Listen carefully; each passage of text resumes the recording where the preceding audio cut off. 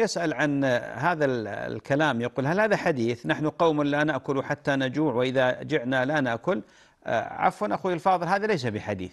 نحن قوم لا نأكل حتى نجوع وإذا أكلنا لا نشبع أو إذا أو جع أو كذا هذا ليس بحديث. هذه من الحكم التي تقال.